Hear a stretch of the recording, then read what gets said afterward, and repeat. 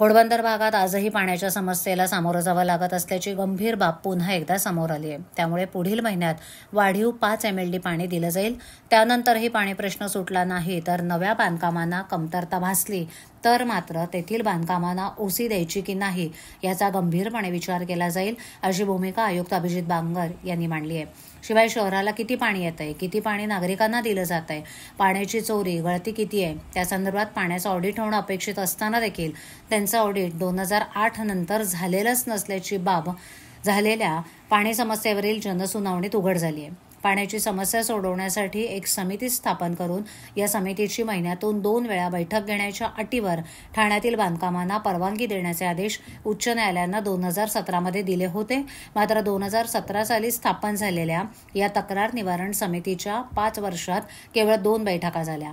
याकडे लक्ष नागरिक चंद्रहास तावडे यांनी लक्ष वेधलंय. शहरात पाण्याची समस्या असताना त्याचं नियोजन कसं केलं जात आहे किती पाणी येत आहे किती पाणी ठाणेकरांना दिलं जात आहे पाण्याचा अपव्यय कसा होतोय? त्यासाठी पाण्याचं ऑडिट पालिकेच्या पाणीपुरवठा विभागाकडून केलं जात आहे का? असे सवाल त्यांनी केलेत. मात्र दोन हजार आठ नंतर पाण्याचं ऑडिट झालं नसल्याची माहिती पाणीपुरवठा विभागाच्या अधिकाऱ्यांनी दिली आहे.